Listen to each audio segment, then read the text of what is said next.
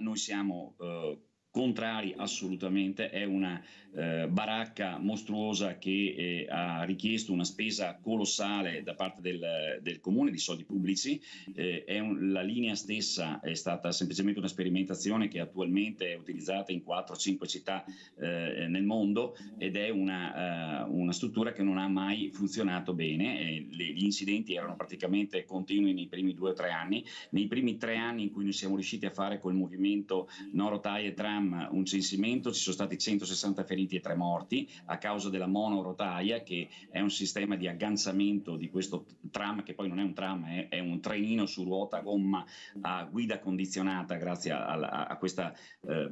idiozia della monorotaia. Guardi, c'è in progetto